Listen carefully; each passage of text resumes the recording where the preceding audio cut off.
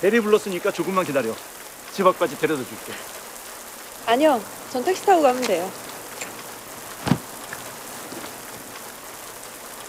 다 적겠어요. 같이 써요.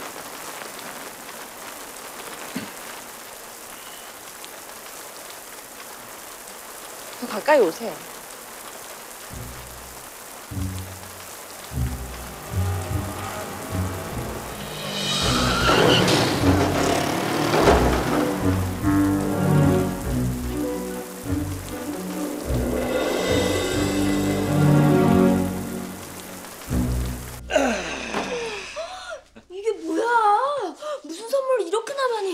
올해가 우리 은혼식이래. 씨?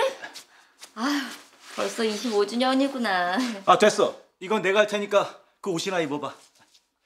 사이즈 안 맞거나 마음에 안 들면 교환해야 하니까. 마음에 안 들긴. 너무 예쁜데?